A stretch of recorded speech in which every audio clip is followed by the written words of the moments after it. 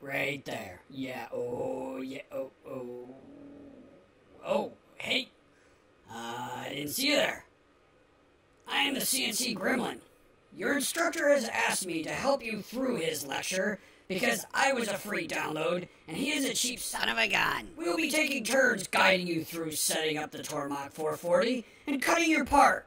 The acronym CNC stands for Computer Numeric Control, and in most cases uses G-code commands to guide the machine tools through time and space. We will not focus too much on the specifics of G-code. However, there are a few things to briefly cover.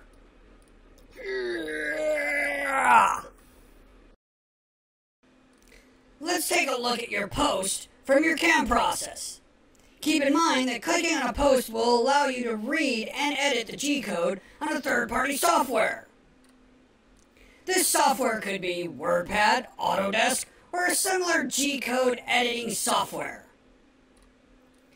Be careful not to edit any of the G-code in these programs unless you have the experience to do so.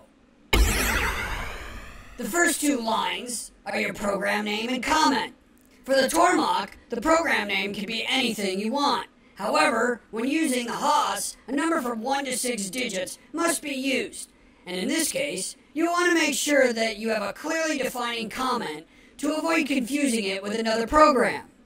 Next, you will see your tool numbers. These were assigned in the tool library. The tools that you use in the CAM program must match the tools used by the machine in both geometry and assigned number. As you can see, my tool 1 is 3 quarters of an inch or 0.75. The Z-min, located here, is the furthest distance past your zero that this tool will travel through the G-code. In other words, your depth. It then gives you the tool description. In this case, the face mill for tool number one. The G-code sets up basic information for the machine, such as absolute or incremental coordinate systems, and a bunch of other crap that the post processor sets up for use on a particular machine. The G54 command is important because this is your coordinate system zero point. Why this is important is because you can have multiple coordinate systems in one post. We will be using one in this class, so just make sure that it is set up as the G54 for its default. So down a little further in the program, sets up your first tool, spindle speed, direction, and coordinate system. The F value is how fast your tool will cut, in this case, 15 inches per minute. That is mostly directional coordinates. X, Y, and Z is linear, whereas I and J are the arcs. For those of you working at home, or you just want to practice using the PathPilot interface, go to hub.pathpilot.com or type in PathPilot Hub in your web browser and create an account. Click on Create PathPilot Virtual Controller. At the bottom of the page, you will see a space to upload your post. Click on Browse, find your post that you saved from the first lecture, and upload it here. Click on Enter PathPilot, then click Connect. Agree to the license agreement, and click on 440, which is the mill we will be using in the lab. Click Save and Start, and then click Continue. This will bring up the PathPilot Hub interface. Click on the File tab to view your files. Now in the top center window, you should see your post. If it is not listed, try hitting refresh because it may take a bit for their servers to catch up. Click Copy to move it to the top left window. There you can double click it and bring up the G code. Now on your main screen, click Reset, then reference X, Y, and Z. Now this is only for the PathPilot Hub interface. We will be using a different method on the machines themselves. Everything after this step should be the same on both the PathPilot Hub and on the machines.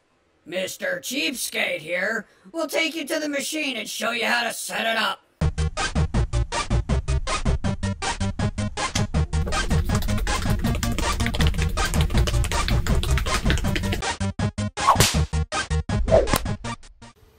After installing the USB drive into the Tormach 440, click on the File tab in the center window, and you should see your file. Select the file and click Copy from USB, which will bring the file to the computer's memory. Double click to load the G code, and it will bring you to the main screen. You can see that clicking on the file brings up your post. It inserts the digital stock plus all of the toolpaths. Here we can see the G code in the top left window. Be sure that it is your file name and comment. Next, look at your tools and make sure that your tools are all listed and have the proper tool number. Well, let's take a look at the controls for the Tormach 440. You have a standard keyboard and mouse for keyboard and rodent type stuff. We have two additional controls for this machine. One of these is known as the Tormach Wheel Spinny Thingy Axis Changey Stepper Flux Capacitor. It is important to know the nomenclature for the equipment. It says it right there on the website. This controller is fairly easy to use, kind of like a video game. You can switch your machine axes on PathPilot by using this controller. The A axis is for an additional fourth axis, which we will not be using. After selecting an axis, you can use the outside hand wheel to rapid that axis. The further you rotate the knob, the faster it will go.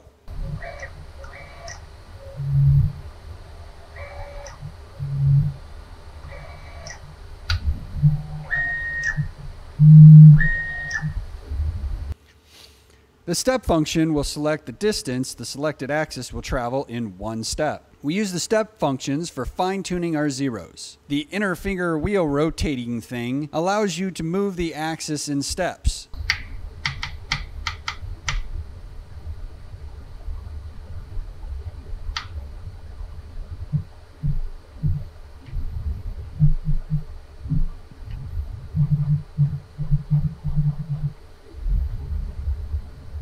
You'll be able to feel each step while rotating this wheel. Never use a hundred thousandths or 0.1 as a step. It will move the axis too quickly and is really unnecessary.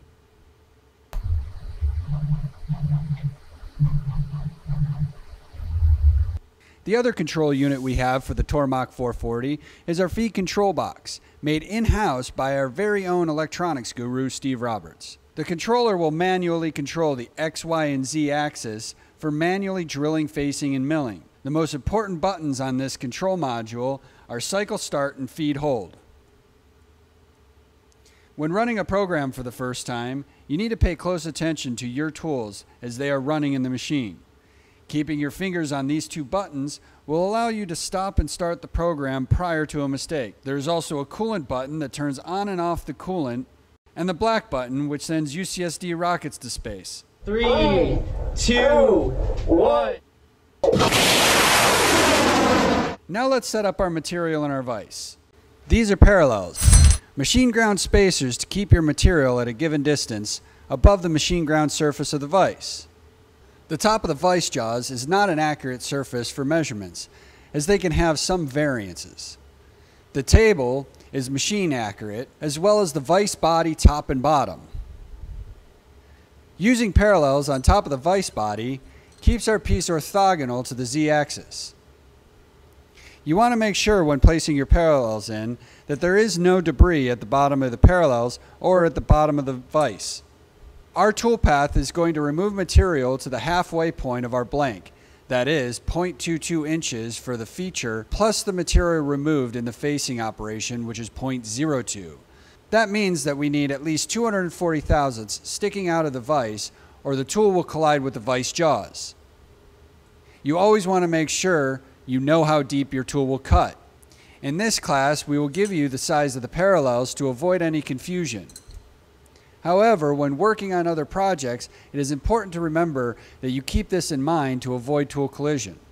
It would benefit you to take your material blank and put a mark in the top left corner with a Sharpie, which will help you to avoid fixturing it with the axes switched. Place your material in the vise with the longest measurement against the jaws. The way you set up your material in Fusion is the way it must be set up on the machine. Be sure that your workpiece is flat on top of the parallels, free of debris, and then lightly tighten the vise jaws. You can push down on the center of your workpiece to flatten it against the parallels. I can use the depth gauge feature of the dial calipers to verify that I have over a quarter inch of clearance with these selected parallels. Measure from the jaws to the top of your material with your depth gauge and verify that you have over a quarter inch of clearance. Finish tightening the vice jaws and lightly tap on the top of the material with a dead blow hammer because when you clamp the sides of the material, it will slightly lift off the parallels from buckling. Hee-yah. Hee. With your material tapped down in place, the parallel should not be able to slide side to side. Next, we will zero our coordinate system to match with the Fusion program. Remember that we use the top left corner of our stock as our zero. The common technique to find your zeros in the machinist world is to use an edge finder. An edge finder has a spring on the inside of it. This allows it to move about its axis until it comes into alignment where it straightens out again.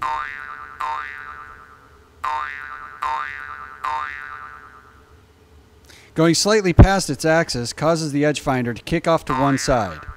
The edge finder is 200 thousandths in diameter. You can verify this by measuring it with your dial calipers. We want to find the axis of the edge finder and therefore the spindle. So we'll use the radius of the edge finder, which is 0.1. We are now ready to insert the edge finder into the machine. To load any tool into the Tormach 440, firmly grab the tool by the tool holder Press and hold the black button next to the spindle which will release the drawbar. Insert the tool so that it sits firmly against the spindle and release the button. You want to make sure you hold the tool in place until you stop hearing air being released from the tool changer. If the tool drops down, it will offset your zero and will cause problems.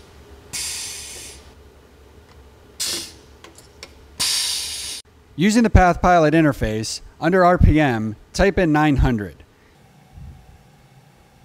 You must hit enter or it will not accept the changes. Do not set the RPM faster than 900 or you will damage the edge finder and possibly yourself when it flies off into the stratosphere. Never turn on the spindle without a tool inserted in the tool changer or it can chatter and cause damage. Now click forward in the right window. This will turn your spindle on. Use your hand wheel to bring the Z axis down and the X axis along your material on the far left side.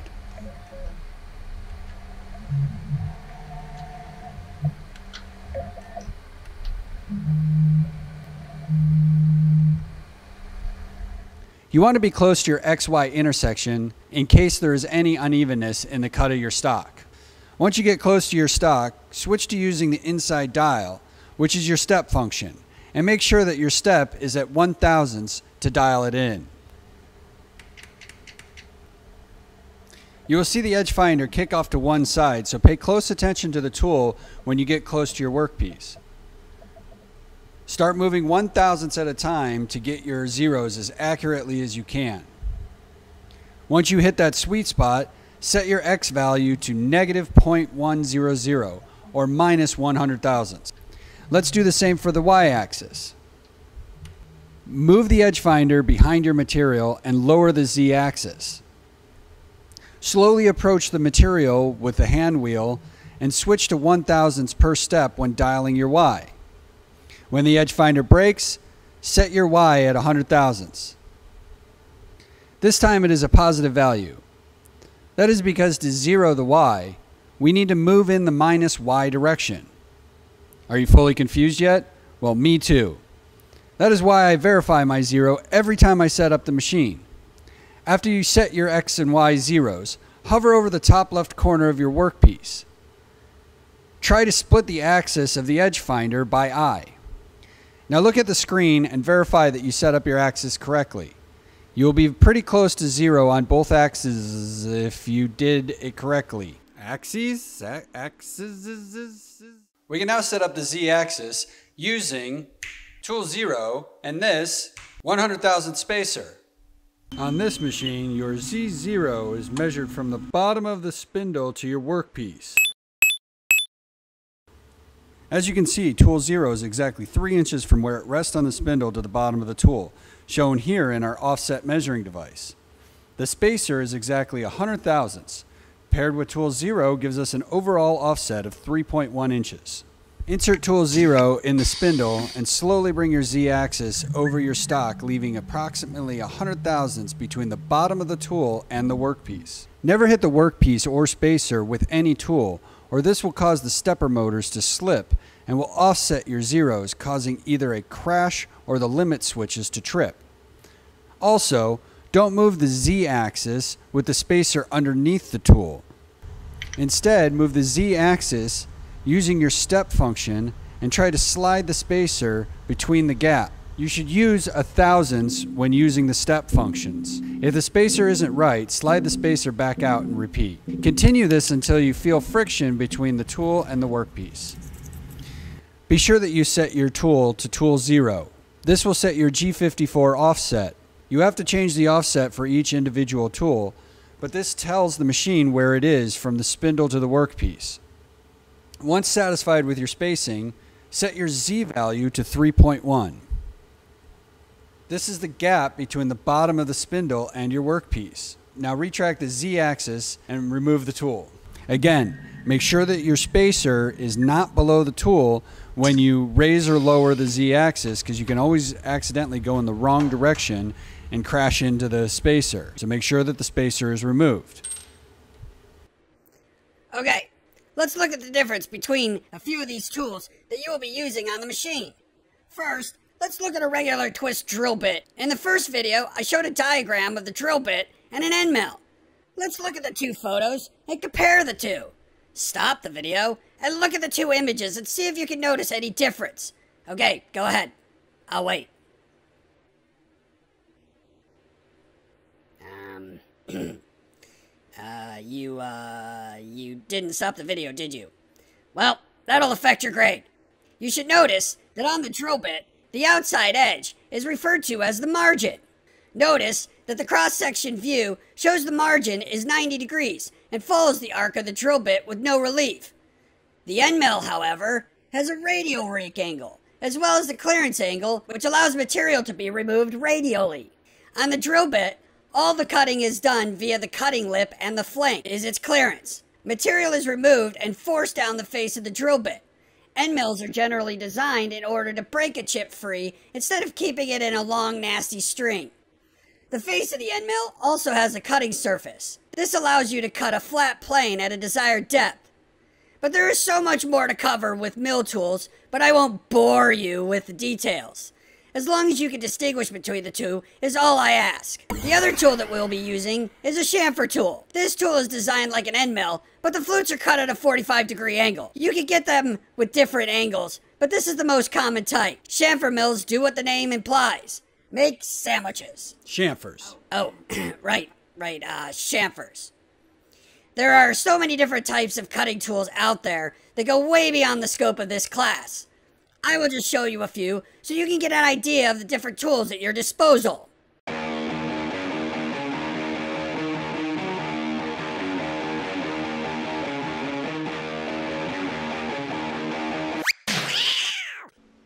So again, whenever you use a cutting tool, always measure the diameter of the tool, even if you got it from a label drawer or if it magically spawns in the machine with the label on it.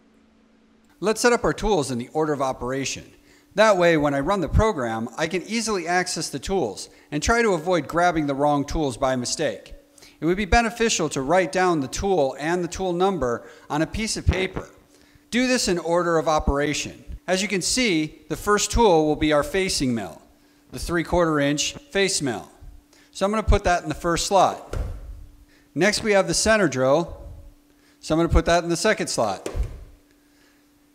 Followed by the 3 8 drill bit, then the quarter inch end mill, and then lastly, we have our chamfer bit. The G-code comment lists the tools, but in numeric order, not by operation. Always make sure you put the right tool in the mill for the right operation, or you'll most likely crash the machine.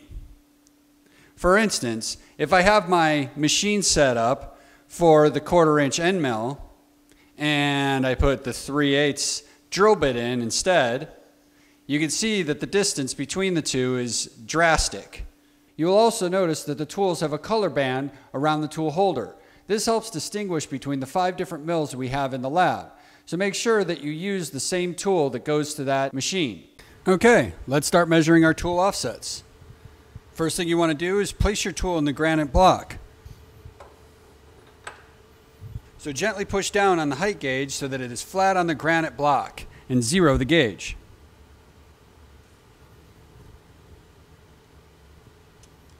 Be sure that you use the blades of the gauge, not the reference edge. Between the blade and the reference edge is a 20 thousandths inch gap that will offset your height if used. Raise the height gauge and gently lower it to the tool. Once again, using the blade, do not push too hard on the gauge or come down too fast on the tool. You want it to barely scratch the surface of the blade. This will give you an accurate measurement.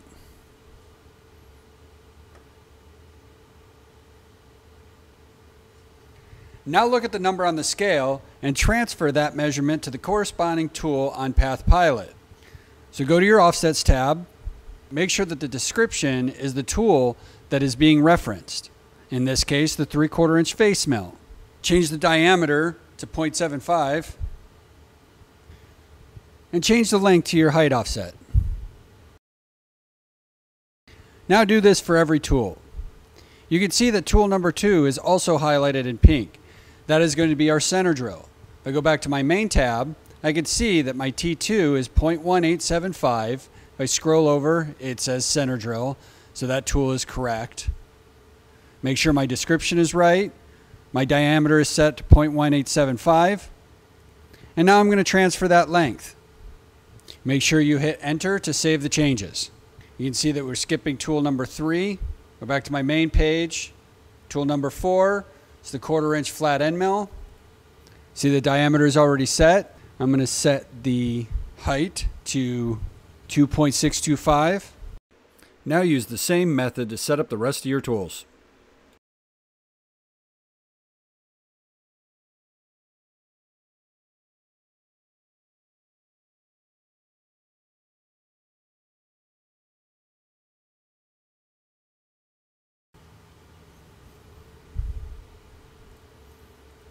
I feel like I come down too hard on the height gauge, I always make sure that I try it again, just to make sure that I get an accurate measurement.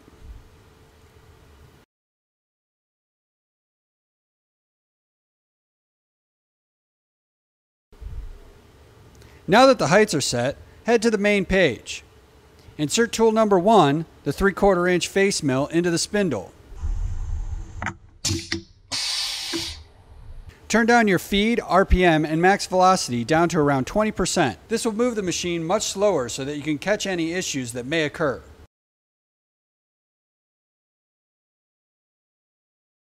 Keep your fingers on the cycle start and feed hold button as you run the program. Okay, let's make some chips fly. Or some uh, fly chips, eh? Use the cycle start button on the controller or the cycle start tab on PathPilot to start your G code. Regardless of where your machine is geographically located, the machine will go to its home position, known as the G30. This is generally some arbitrary point the machine sets up with the XY somewhere in the middle of the table and with the Z fully retracted. Special care should be taken to make sure nothing collides with the tool during this process. So make sure you're ready to go before you hit cycle start.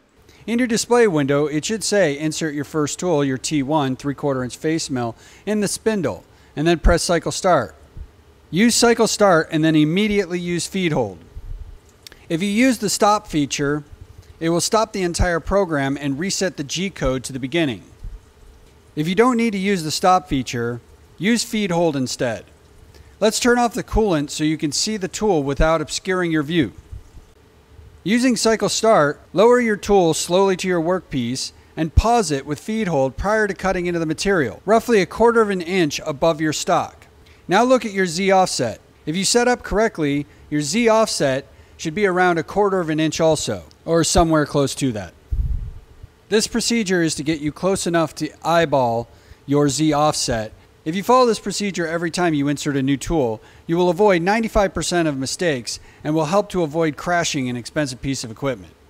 With CNCs, it's all about the setup. This includes running your tool changes slowly and verifying your offsets. With most CNC manufacturing, operators will be running the same part over and over and over and over and over again. That being said, once you run your first part and verify your offsets, you will be able to put a new piece of stock in the machine, hit cycle start, and just let the part run. Now that you've verified your Z offset, let's set all of our feeds and speeds back up to 100%. You can do this by moving the slider or simply clicking on the buttons labeled 100%. The feeds and speeds were set up for the tool and the machine. So you don't want to run the spindle and the feed at different speeds. All right, let's make some chips fly. But for real this time. Let's line up the coolant so it's facing our end mill. Go ahead and turn the coolant back on, hit cycle start, and watch the magic happen.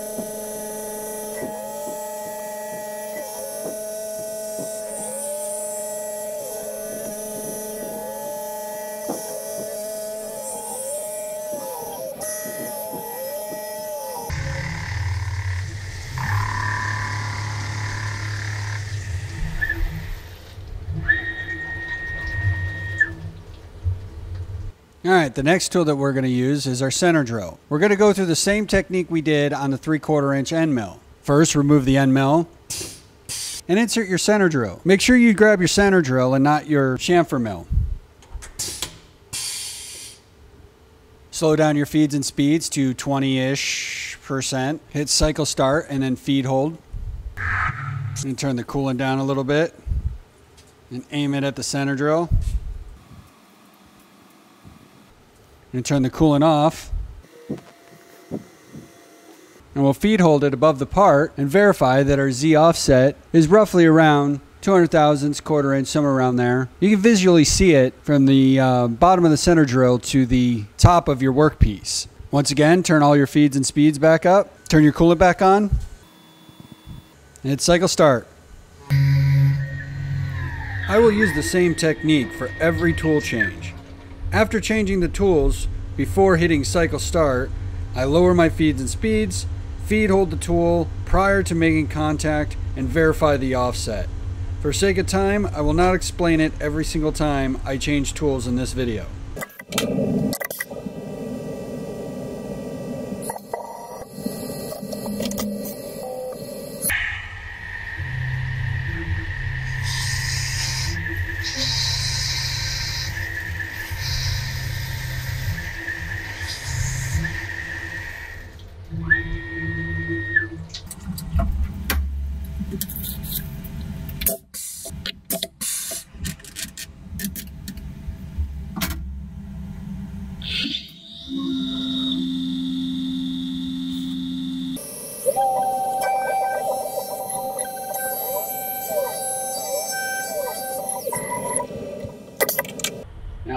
Use our quarter inch chamfer mill.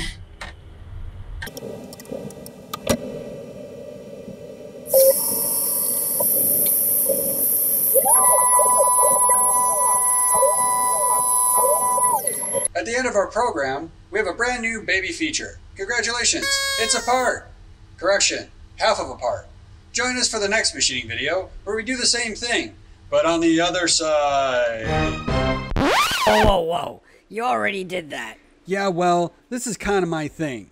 Well, it's dumb. Do something different. Listen, this is my video. And by the way, I'm not cheap. I'm simply on a budget. And if you don't like it, you could just